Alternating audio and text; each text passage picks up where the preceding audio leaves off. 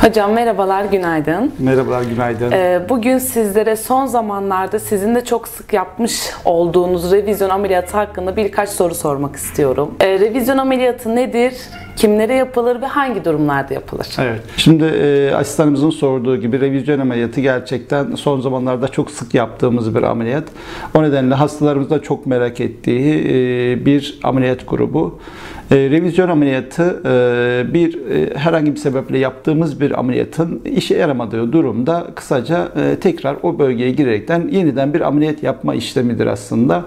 Revizyon ameliyatı bir sürü ameliyat grubunda vardır. E, obezite ameliyatında bizim bugün konuşacağımız revizyon ameliyatı. E, obezite ameliyatında revizyon ameliyatını niye yaparız? Bunu yapma sebeplerimiz nelerdir? Ve obezite ameliyatındaki revizyon çeşitleri bir çeşit bir ameliyat mıdır?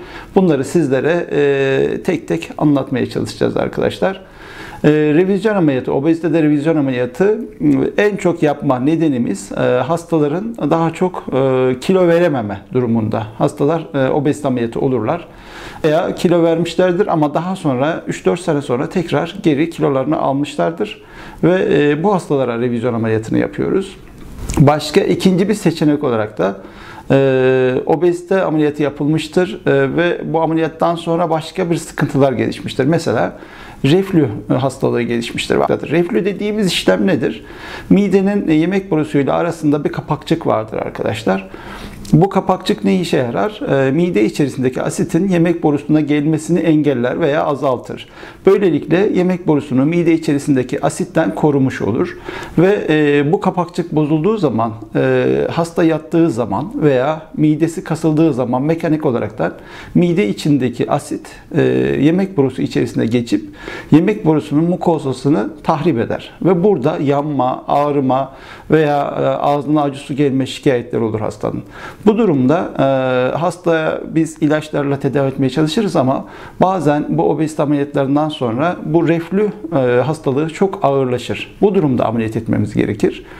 Bir başka obezitedeki e, revizyon ameliyatı ise e, hastalarda bu ameliyatlardan sonra dönme, midede dönme veya e, bir e, darlık gelişmesi sonucunda hasta yemekleri yedikten sonra burada geçiş olmaz. Geçiş olmayınca hastalarda yemeklerden sonra kusma, çok şiddetli ağrılar olur ve biz bunu endoskopiyle tanı koyduktan sonra bunları için revizyon işlemleri veya ameliyatları yaparız.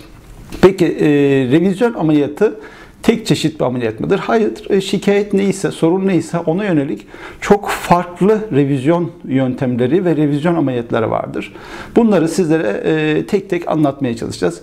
Şimdi e, öncelikle ameliyat gruplarından bahsedelim. Mesela eskiden çok sık yapılan gastric banding vardı. Mideye bant taktığımız obezite işlemleri vardı, ameliyatları vardı.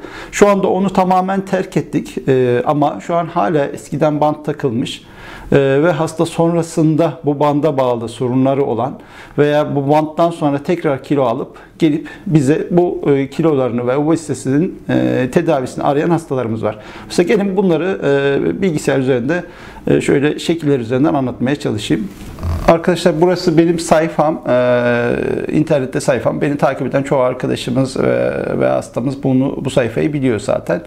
Burada ben hastalarla ve beni takip eden diğer arkadaşlarla tüm samimiyetle düşüncelerimi sade bir şekilde paylaşmaya çalışıyorum zaten zaten. Burada obezite ameliyatı sonrası revizyon ameliyatı diye bu başlığı zaten ben ele aldım. Ee, ve burada obezite nedir? Ee, obezite ameliyatı yapan hastalarda revizyon cerrahisi gerekli durumlar nelerdir? Bunları zaten anlatmışım burada. Ee, obezite tedavisi, e, obezite cerrahisiyle kilo kaybında oldukça başarılıyız aslında. Ama bazen bu hastalarda e, bu ameliyatlardan sonrasında e, çok az kilo verme veya kilo verdikten sonra tekrar geri kilo alma gibi durumlarla karşılaşıyoruz. Bu hasta grubu e, obezite yaptığımız hastaların %10'una yakın bu grubunda e, revizyon cerrahisi gerekecek durumda e, karşımıza gelmekte. Peki obezite de e, revizyon cerrahisi kimlere yapılıyor? Tekrar kilo alan hastalara yapıyoruz veyahut da kilo veremeyen hastalara. İkinci seçenek tedavi ve dirençli reflü gibi şikayetleri gelişmişse yapıyoruz. Üçüncü yeniden yenilen gıdaların geçişine izin vermeyen darlıkların ve dönmelerin olduğu durumlarda obezite cerrahisini yapıyoruz. Peki obezite cerrahisi, obezite ameliyatlarından sonra tekrar kilo alma nedenleri nelerdir? Bunları iyi irdelememiz gerekiyor arkadaşlar. Çünkü e, hastanın eğer e, ki, geri kilo alma sebebini iyi bilemezsek e, yapacağımız ameliyatı çünkü ona göre seçeceğiz ve yine başarısız olma şansımız çok yüksek. O nedenle e, bu hastalar tekrar niye kilo almış? Buna bakmalıyız. Tekrar hastalar niye kilo alır? Bir, hasta uyumu iyi olmadığı için kilo alabilirler. Hastaların yeme bozukluğu olabilir. Hastalar alkol veya sıvı e, tatlı çikolata, e, milkshake tarzında şeyler alıyor olabilir. Bu nedenle eğer kilo alıyorsa bu hastalar hastaların bu e, şikayetlerinin, bu sorunlarının tedavi edilmesi gerekiyor. Bunlar da psikoterapi ve psikiyatrik e, konsültasyonlarla yapılabilecek bir işlem. Bunlar ameliyatla düzeltilebilecek bir durum değil. Bu e, sorunu düzelttikten sonra hasta hala kiloluysa o zaman cerrahi düşünülebilir. İkincisi hasta uygun cerrahi yöntem seçilmemiş olabilir. Yani hastaya mesela aslında e, mesela tüp mide uygun değildir. Gastrik bypass yapılması gerekiyordur. Bir partisyon yapılması gerekiyordur. Ama bir, bu hastaya tüp mide ameliyatı yapılmıştır. Ve e, hasta yeterince kilo veremiyordur. Bu durumda yine revizyon cerrahisi başarı sağlayabilir. Uygun teknikle yapılmamış olabilir. Hastaya uygun cerrahi yapılmıştır. Doğru ameliyat seçilmiştir. Fakat bu hastada uygun teknikle yapılmamıştır. Yani mesela tüp mide yapılmıştır ama geride büyük bir e, mide bırakılmıştır. Veya fundus çok büyük bırakılmıştır. Bu durumlarda hastalarda kilo e, geri alınır ve bunların e, sadece psikiyatrik sorun dışındaki e, sorunlara bağlı eğer bir e, kilo alımı varsa e, uygun e, teknik ve uygun cerrahi yöntemle bu hastaların tekrar kilo vermesi revizyon cerrahi sonrası mümkündür. Şimdi revizyon cerrahi yöntemlerinden kısaca bahsedecek olursak, daha öncesinde mide bandı olan hastalarda e, revizyon cerrahisi ne yapıyoruz? Mide bandı bu şekilde arkadaşlar. Şu anda tamamen terk edildi. Türkiye'de hemen hemen hiç yapılmıyor. Dünyada da çok nadiren uygulanan bir yöntem şu anda. Bir ara çok yaygın uygulanıyordu. Mide bandını e, şu anda hiç uygulamıyoruz. Çünkü komplikasyonları çok fazla ve hastada istenilen düzeyde kilo vermeyi sağlayamıyor mide bandı. Neden? Çünkü mide bandının yaptığı şey sadece burada e, yemeklerin geçişini engel olan bir e, kısıtlayıcı bir alan oluşturmak ve buradan hasta yemek yedikten sonra hemen e, buranın dolması ve daha fazla yiyecek olursa kusma, ağrı gibi semptomların olması ve bu hastalar genellikle bu ameliyatlardan sonra e, hep bir şeyler yemek istiyorlar ama yemedikleri için mutsuz oluyorlar. O yüzden gastrik banding, e, mide bandı dediğimiz işlem şu an tamamen terk edildi. Fakat şu anda eskiden yapılmış olan hastalar hala geliyor ve eskiden yapılmış e, ve şu anda kilo verememiş veya gevşetilmiş e, o yüzden kilo e, tamamen geri almış hastalarımız geliyor. Bunlara revizyon cerrahisi yapabiliyoruz. Veya bu hastalarda gastrik bant, e, uygulanan bant e, mide içerisine e, bir e, delinmeye sebep olmuş. Mide içerisinde düşmüş olabilir veya Burada bir erozyona sebep olabilir. Bu nedenle e, bu bantların çıkartılması e, için ameliyat almamız gerekiyor. Bu işlemi mide bandının çıkartılma işlemini e, ve arkasından herhangi bir e, hangisine uygunsa hasta revizyon cerrahisi yapılması gerekiyor.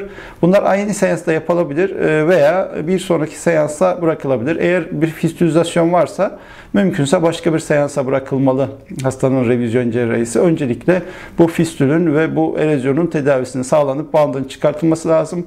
E, belirli bir e, zaman verdikten sonra da revizyon cerrahisini uygulamak lazım.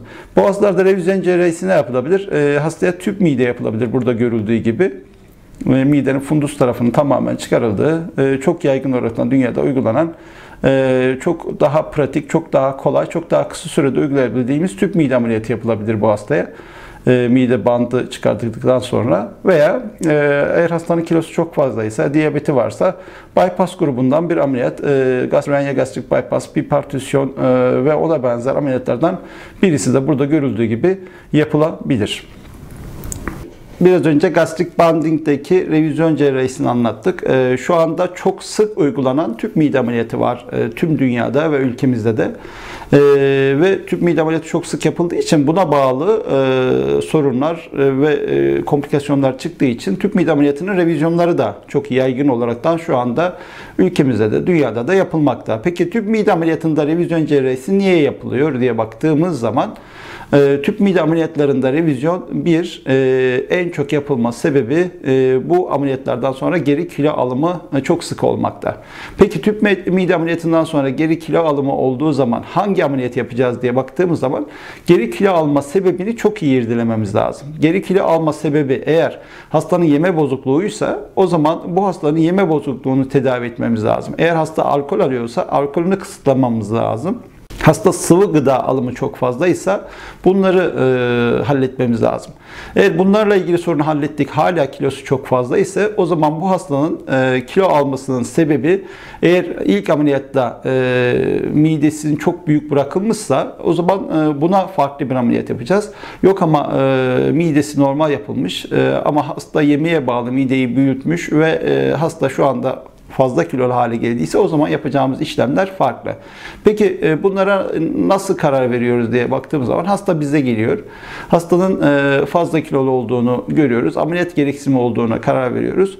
E, ve hastaya yaptığımız endoskopide eğer hastanın midesi ileri derecede büyümüşse o zaman bu hastaya revizyon cerrahisini aldığımız zaman hastanın e, tabii ki metabolik durumuna da bakıyoruz. Diyabeti varsa veya hatta metabolik sendromu varsa o zaman zaten direkt bypass grubu bir ameliyat buna yapıyoruz. Ee, bu bypass grubu ameliyat dediğimizde Royan gastrik bypass olabilir veya bir partisyon olabilir. Ee, bunlara en çok tercih ettiğimiz bazen de ödenen switch de tercih edebiliriz. Hastanın durumuna göre buna karar veriyoruz. Başka hangi durumda bu ameliyatlar gerekebilir?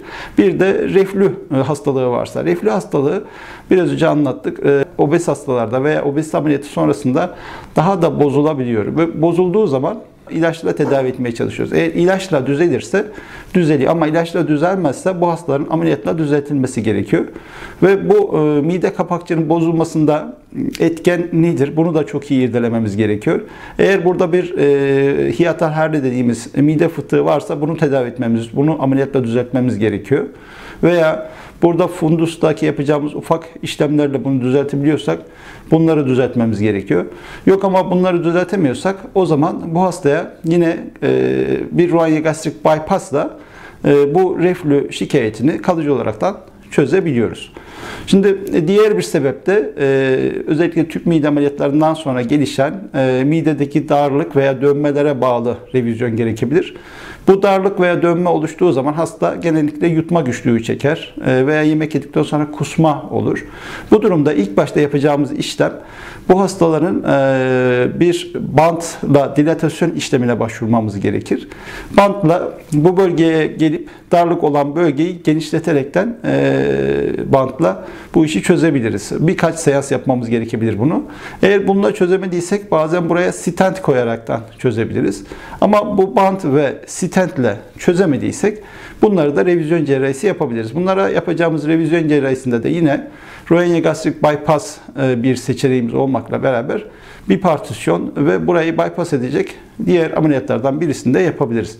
Ve bu hastalarda yine kilo alma varsa bu ameliyatları yaparken de e, bu kilo vermesini kolaylaştıracak işlemleri de üzerine eklememiz gerekir diyoruz. E, bizim e, revizyon cerrahi ile ilgili e, anlatacağımız daha başka kısımlarda kesinlikle var. Fakat bugünlük e, tüp mide ve mide bandı ile ilgili olan revizyon kısmını anlatmamız yeterli diyoruz. Başka bir videoda diğer bölümleri de sizlerle paylaşacağız. Tekrar başka bir videoda görüşmek üzere. Hoşçakalın diyoruz.